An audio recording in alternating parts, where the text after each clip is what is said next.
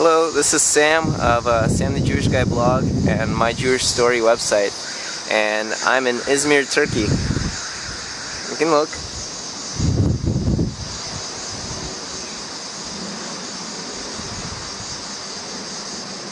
And I'm uh, traveling the world, photographing and uh, cataloging different Jewish cultures around the globe and seeing uh, what's different about them and how they impact the societies that they're in.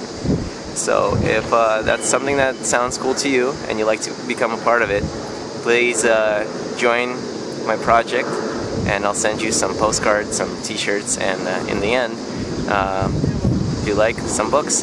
So uh, keep up to date, my Jewish story, and uh, I'm Sam the Jewish Guy. Thanks.